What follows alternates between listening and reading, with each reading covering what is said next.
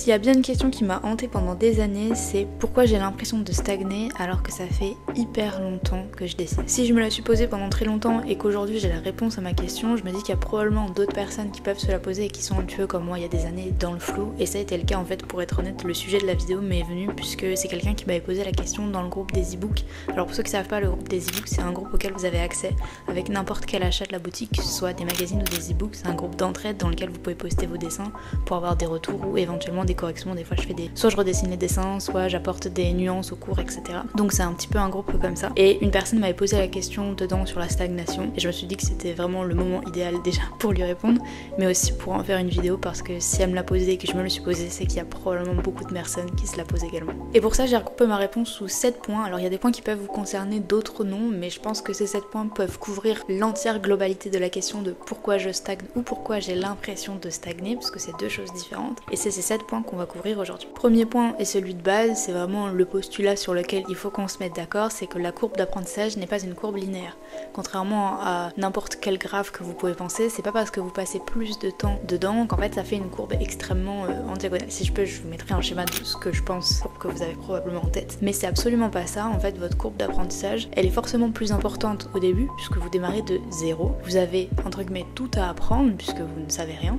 Et en fait, plus vous allez progresser, plus cet apprentissage va être de plus en plus petit. En fait, la courbe va s'aplatir, on va continuer d'être droite, puisque euh, quand on va évoluer, les choses qu'on va apprendre vont être de plus en plus minimes ou être relatifs à du détail. On va pas apprendre la même chose qu'au début où il faut tout voir, le visage, par exemple le visage, le corps, l'anatomie, la perspective, que sais-je, les couleurs, les ombres, la lumière, tout ça. Euh, quand vous avez ces bases-là, bien après, en fait, on arrive sur des. Euh, j'aimerais approfondir le visage sur cette vue de trois quarts de cet angle. Donc vous voyez bien que ce que vous allez apprendre, c'est beaucoup plus précis qu'au début.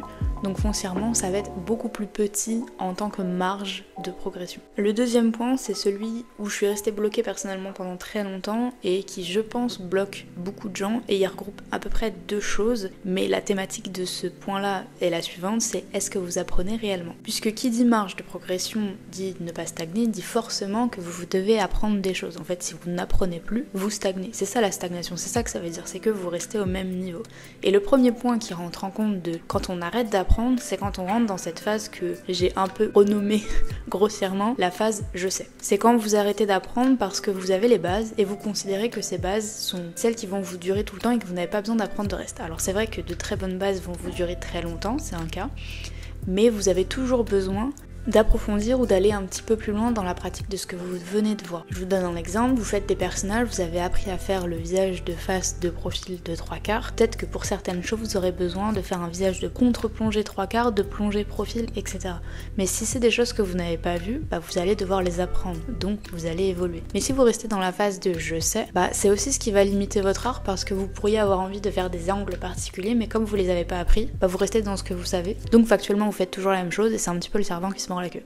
Donc cette phase de je sais, c'est aussi celle qui nous bloque parce qu'on va arrêter soit de regarder des tutos, soit on va regarder des tutos de même entre guillemets niveau. Faut savoir qu'à partir d'une certaine pratique, vous êtes débutant plus plus, voire intermédiaire. Donc vous pouvez aller dans des livres un petit peu plus compliqués, voire pousser votre technique, voire aller voir des tutos un peu plus haut niveau pour essayer de creuser des choses. Si vous restez tout le temps dans votre zone de confort, factuellement, vous faites tout le temps la même chose, donc vous allez stagner et ne pas progresser. Après, stagner en soi n'est pas un gros mot, n'est pas une fatalité, n'est pas négatif, mais juste là, comme on relève du sujet de pourquoi ne pas stagner, c'est pour ça que je vous donne ces techniques. Et le deuxième point qui reste dans celui-ci, c'est la phase que moi j'appelle entre guillemets juste de la copie. C'est-à-dire qu'on est persuadé d'apprendre un truc, mais on le fait pas parce qu'on reste dans cette phase où on recopie juste un modèle ou une référence sans réellement chercher à le comprendre. C'est-à-dire que vous avez réussi à recopier votre modèle, mais vous l'avez pas compris. En fait, c'est un peu comme refaire vos trucs de maths, mais vous êtes incapable de refaire l'équation votre côté. Bon, je pense que tout le monde n'a pas été au domaine des équations ultra poussées, mais je pense que vous avez compris l'idée. Et pour ça, pour contrer ce truc, c'est assez simple, c'est-à-dire que quand vous faites de la copie, déjà la première chose que je conseille toujours, c'est de décomposer en volume, puisque quand vous décomposez en volume, ça veut dire que vous avez souvent compris le modèle. Et ensuite, c'est de le refaire sans, déjà dans un premier temps. Donc de refaire ce que vous venez de faire sans modèle, donc soit en le cachant, soit euh, en enlevant, enfin bref, ça dépend où est-ce que vous avez votre modèle.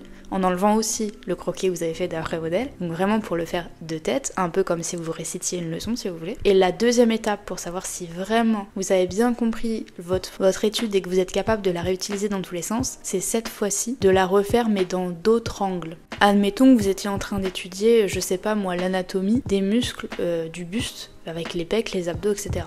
Vous avez fait votre modèle, vous avez compris, vous l'avez recopié, enfin vous avez fait de mémoire, hop, vous avez capté, ben maintenant vous allez essayer de faire le buste, je sais pas, de trois quarts de profil, un petit peu incliné, si le bras il est levé, si le bras il est baissé. En fait, d'avoir cette gymnastique de dire, bon ok, je, fais le visuel dans tous les sens. Et c'est quand vous êtes capable de le refaire dans tous les sens parce que vous l'avez compris, que cette fois vous pouvez être sûr que vous avez acquis une nouvelle leçon, donc vous avez factuellement évolué. Après, pour arriver à ce niveau-là, ça se fait pas en un claquement de doigts, forcément. Ça va vous demander de l'apprentissage. Il y a des fois, ça va pas passer directement, donc il va falloir réétudier des références. Et après, il y a des angles qui seront toujours factuellement beaucoup plus compliqués que les autres, parce que c'est pas des trucs qu'on dessinera très souvent. Et dans ce cas-là, on ira utiliser des références un petit peu plus sur le moment, à l'instant T, quand vous en aurez besoin. Ça sert à rien d'être dans l'ultra précis directement. Mais si vous arrivez au moins à faire cette gymnastique globale, quelle que soit la chose que vous êtes en train de faire, au moins vous êtes sûr cette fois-ci d'avoir bien appris quelque chose et pas juste d'être resté dans le stade de la copie. Troisième point qui est juste en lien avec celui d'avant, c'est que la phase qui arrive après la phase de je sais, donc quand on a l'impression de tout savoir et qu'après on se dit ok cette fois je vais apprendre, c'est qu'on se rend compte qu'on ne sait rien. Donc c'est la phase que j'ai renommée je sais que je ne sais rien. Voilà.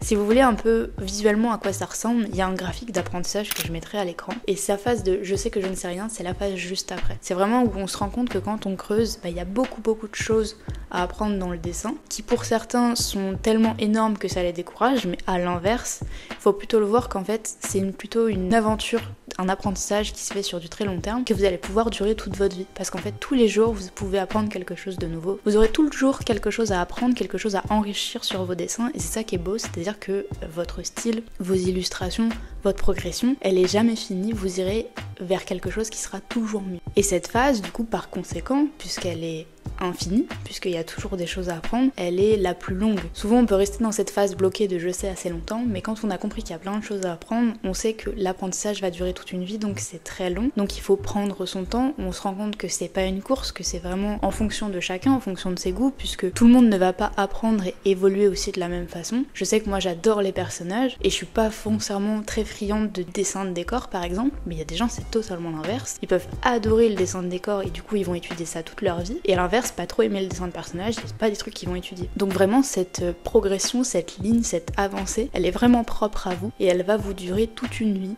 Donc le meilleur conseil que je puisse vous donner, c'est d'apprécier ce processus d'apprentissage, de pas être en quête d'un truc forcément fini, parfait, etc. Puisqu'en réalité, ça n'arrivera presque jamais. Quatrième point, faut savoir que votre évolution, elle est aussi liée à vos goûts personnels. Exactement comme ce que je viens de dire juste avant. Et pour ça, le meilleur truc, c'est de se décrocher de cette pression constante de dire il faut que j'évolue tout le temps, il faut que je, il faut que je sois meilleur, etc. Vous allez être, devenir meilleur euh, foncièrement à force d'apprendre, mais il faut pas non plus se mettre une pression constante pour dire il faut que je le fasse, si je le fais pas, je suis un mauvais artiste, pas du tout. Euh, vous pouvez ne pas avoir envie de progresser sur des trucs qui ne vous plaisent pas à l'instant T ou qui concernent pas. Comme je vous l'ai dit, par exemple, les paysages, c'est pas ma tasse de thé. Bah, aujourd'hui, je vais pas me forcer à me perfectionner dans les paysages pour dire je suis un meilleur artiste, j'ai évolué, j'ai fait cette temps. Non, ça me concerne pas, du coup, ça, je laisse ça sur le côté. Et il y a aussi cette pression de il faut que j'évolue tout le temps. Bah, en fait, non. Il y a des phases où vous n'allez pas évoluer et par conséquent, vous allez stagner. Mais comme je l'ai dit au tout début, la stagnation, c'est pas un gros mot, c'est pas un, mot méchant, c'est pas péjoratif, c'est juste factuellement, vous avez le même niveau, ou alors ça se joue à des micro-détails que la plupart du temps, on, voit pas à l'œil nu ou des fans ou autres spectateurs ne peuvent pas forcément voir. Vous, savez que vous avez évolué un petit truc, mais vous êtes factuellement sur le même niveau, et ça peut très bien vous convenir. Alors ça répond pas à la question de pourquoi vous stagnez, mais ça peut être le fait de enlever, se mettre cette pression là de il faut que j'évolue tout le temps parce qu'on est un peu dans un monde où c'est une course perpétuelle, enfin il faut toujours faire mieux, etc. Euh, un peu cette compétition aussi vis-à-vis des autres. Il faut absolument se l'enlever et de se dire que parfois, en fait, on peut complètement kiffer ce qu'on fait sans avoir besoin d'améliorer ce qu'on est en train de faire, parce qu'on n'en sait rien, ça se trouve dans 6 mois, vous verrez quelque chose, que ce soit d'artiste ou dans votre vie, vos goûts vont changer, et là vous allez évoluer parce que vous allez avoir envie d'apprendre d'autres techniques. Mais si à l'instant T, là, aujourd'hui, là, maintenant, quand vous écoutez cette vidéo, vous n'avez pas envie, bah n'évoluez pas c'est très bien comme ça. Le cinquième point, c'est pour ceux qui ont un peu du mal à voir leur propre progression et qui veulent et par conséquent évoluer. Euh, dans ce cas-là, je vous conseille toujours, toujours, toujours de garder vos dessins, quelle que soit la date à laquelle vous avez fait, que ce soit en carnet, que ce soit digital ou pas, d'avoir les dessins et d'avoir les dates. Alors en digital, c'est assez facile parce que vous pouvez avoir l'historique de l'illustration que vous êtes en train de faire, mais dans le carnet, mettez toujours la date, éventuellement le jour, le mois, l'année, ce serait vraiment incroyable. Pour avoir une traçabilité de vos dessins. Parce qu'en réalité, c'est comme votre physique, en fait, on se voit tout le temps, enfin on voit nos dessins tout le temps, surtout si c'est dans votre carnet, euh, on les fait de façon journalière, donc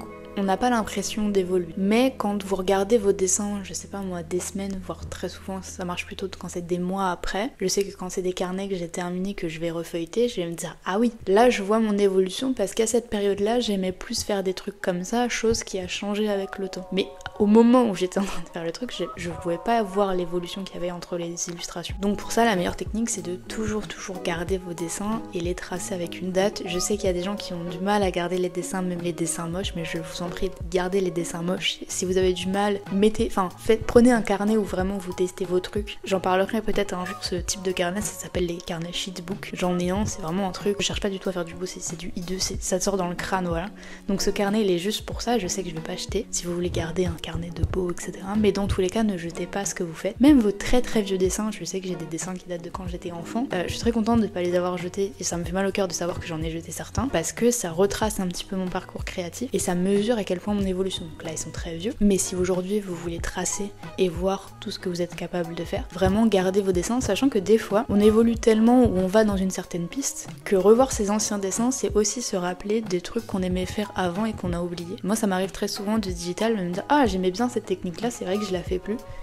Et hop, je le réincorpore dans ce que je suis en train de faire, je modifie et ça me fait réadapter un petit peu mon style. Sixième point et surtout le plus important, c'est ce qui fait que vous avez l'impression en fait de stagner alors que la plupart du temps c'est pas le cas. C'est la comparaison et surtout la comparaison avec les réseaux sociaux. Alors je suis très mal passée pour en parler puisque j'ai à quasiment tous les réseaux, je suis presque présent sur tout, que ce soit YouTube, Instagram ou TikTok, je suis partout. Mais pour être à la fois partout, pour poster partout et être consommatrice de quand même pas mal de contenu, je peux attester à quel point genre les réseaux peuvent être une très bonne chose pour notre inspiration, mais à la fois être notre pire ennemi en termes de comparaison, puisque sur les réseaux, ce qui marche, c'est souvent le beau, l'extraordinaire, le magnifique, etc.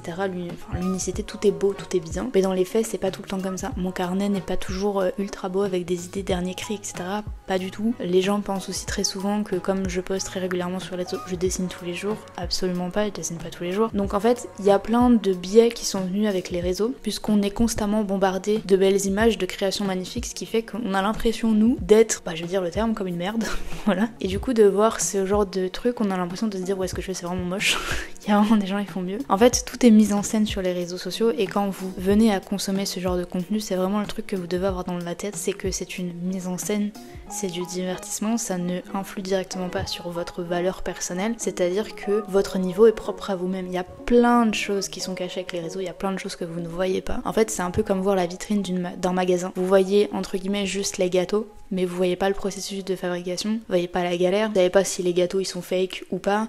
Enfin bref, il y a énormément de choses et vous avez juste la vitrine où on vous met des super trucs dessus, vous fiez vous faire votre propre avis. Donc vraiment le meilleur conseil que je peux donner c'est prenez du recul et si vous voyez vraiment que inconsciemment ça vous bouffe le crâne, que vous êtes avez trop tendance à être euh, à vous comparer parce que vous êtes très souvent sur les réseaux et pour ça je vous conseille de regarder dans tant d'écran de votre téléphone pour voir combien de temps vous y passez. Si vraiment vous avez ce sentiment négatif vis-à-vis de vous-même et que vous n'avancez pas dans vos propres projets qui vous fait stagner ou autre, dans ce cas-là, commencez par supprimer l'app. C'est ce que j'ai fait pendant un mois, un mois et demi. J'ai supprimé tous les réseaux de mon téléphone de partout en fait. Et ça m'a fait énormément de bien parce que ça m'a renoué sur plein de choses. Aujourd'hui, j'ai une consommation, ça a été difficile, en denti, mais je contrôle beaucoup plus ma consommation, ce qui fait que j'ai beaucoup moins tendance, à l'heure actuelle où je fais cette vidéo, c'était pas le cas il y a une semaine, donc sachez que c'est très récent, beaucoup moins tendance à me comparer parce que je suis très concentrée sur moi-même. Mais je sais que c'est très difficile d'en arriver là. Et le meilleur truc que j'ai fait personnellement, c'est de supprimer les réseaux pendant un moment et après de revenir petit à petit à une consommation qui est plus responsable et qui me fait du bien et où j'ai pas cette impression de me dire à chaque fois que j'ouvre pourquoi ma vie est complètement nulle, pourquoi je ne sais pas dessiner, pourquoi si inconsciemment il y a ça qui arrive dans le crâne, c'est foutu entre guillemets. Et septième et dernier point, et ça pour le coup c'est une observation vraiment purement personnelle parce que j'ai pas entendu des gens en parler, la seule personne à qui j'ai évoqué le sujet c'est mon copain donc vous pouvez ne pas être d'accord dessus mais peut-être que ça pourra vous aider. C'est que j'ai cette impression que l'évolution n'est pas corrélée au temps que vous y passez et n'est pas linéaire. Je m'explique, c'est que des fois on a tendance à se dire vas-y si je passe deux heures d'apprentissage dessus, j'aurai deux heures d'apprentissage ou d'évolution. Mais parfois on peut passer deux heures sur un sujet et on n'a toujours pas capté. C'est un peu la même chose que quand vous étiez en cours. Euh, moi je sais que par exemple j'ai toujours adoré les maths, c'est pas le cas de beaucoup de gens, consciente, mais il y a des gens qui pouvaient passer euh, des heures sur une équation mathématique et dire ça rentre pas, c'est pas possible en fait, c'est bloqué. Et ça en fait ça arrive aussi en dessin puisque le dessin comme tout autre c'est une compétence que vous devez apprendre et il y a parfois des jours, voire des mois, vous allez vous casser le crâne sur un truc, ça ne va pas rentrer.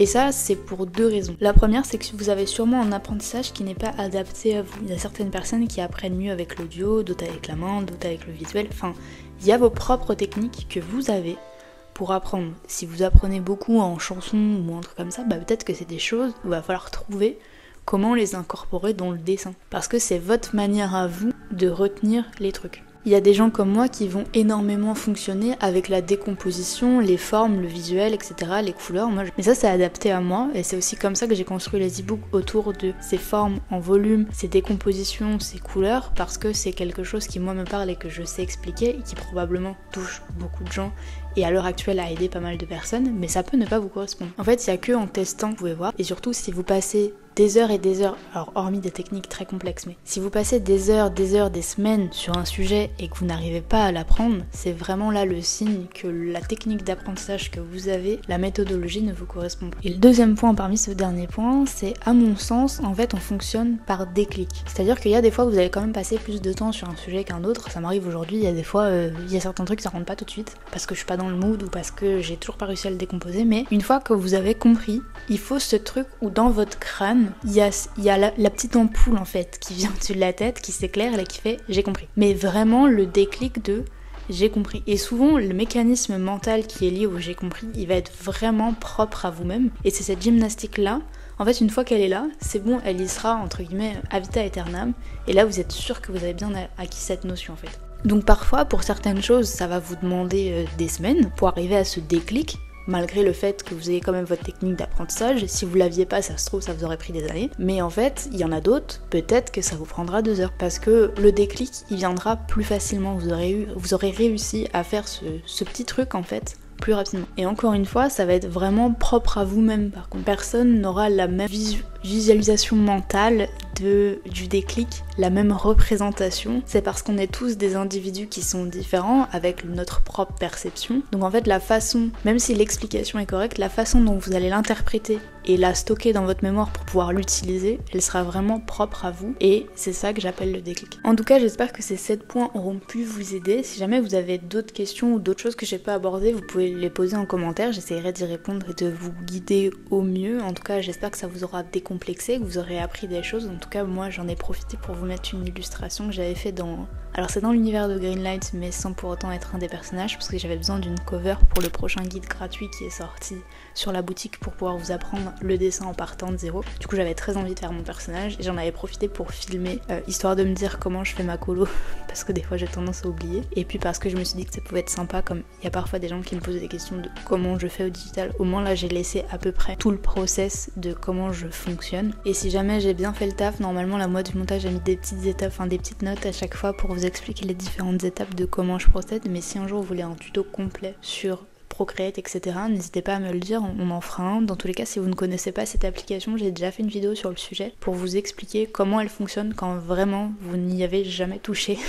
je vous explique un petit peu tous les différents espaces, les brushes, tout ça. Donc euh, si c'est pas le cas, enfin si vous la connaissez pas, vous avez la vidéo et si vous voulez en apprendre plus, bah je me ferai un plaisir un jour de vous faire un tuto euh, complet sur comment je procède dans mes illustrations et comment vous pouvez les utiliser. En attendant, moi je fais des gros bisous et je vous dis à la prochaine.